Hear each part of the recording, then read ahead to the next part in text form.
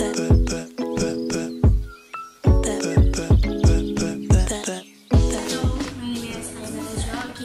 project is carried out to extract the which will undergo three processes extraction, rotary evaporation, and. For extraction is to extract of. For rotary evaporation is to separate the extract solution, and then the last stage is freeze which is will undergo for temperature negative 20 degrees Celsius and pressure of 1 atm.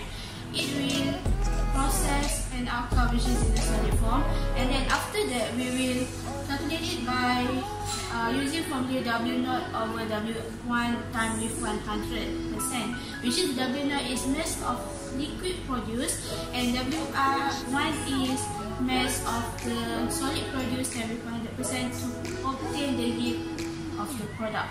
Thank you. So this is 5 gram turmeric leaf. Now we will crush it in the blender.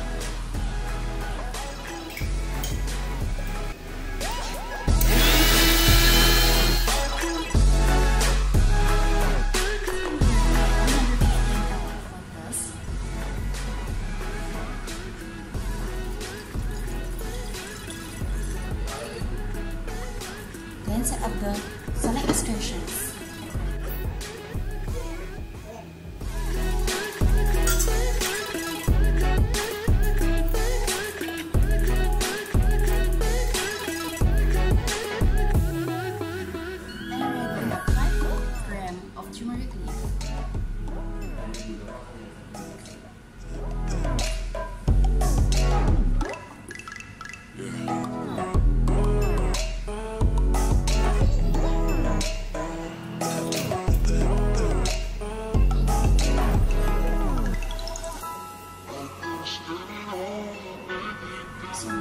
We can start our apparatus and start the experiments.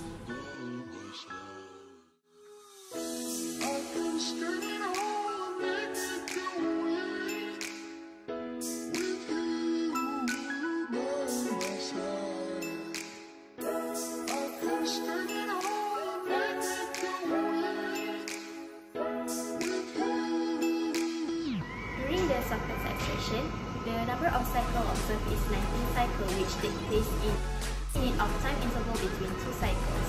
The whole process takes place in 2 hours and 15 minutes to produce 78 ml of extracted turmeric leaf solution.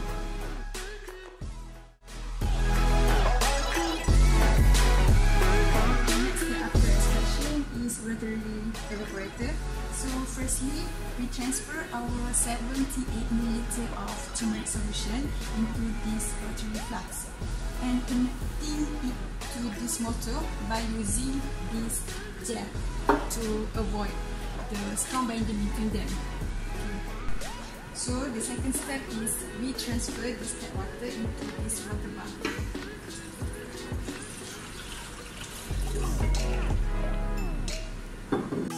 So the next step, we connect this condenser with this uh, receiving flask by using this slipper and also apply the same gel for the same reason to avoid the strong binding between them.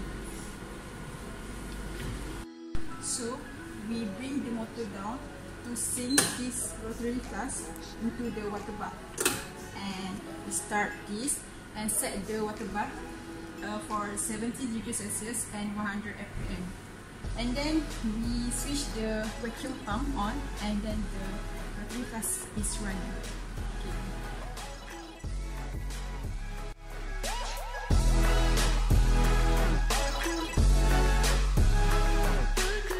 The rotary evaporation undergo about 50 minutes to produce 33 ml of pure solvent of turmeric leaf.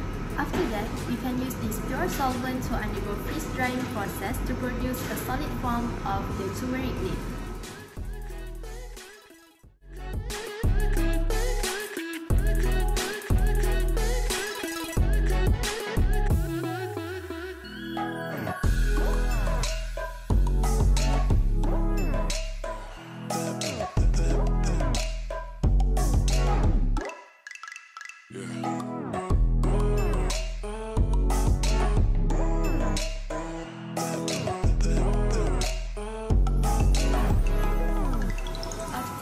Process, we obtain about 1 gram of turmeric leaf powder.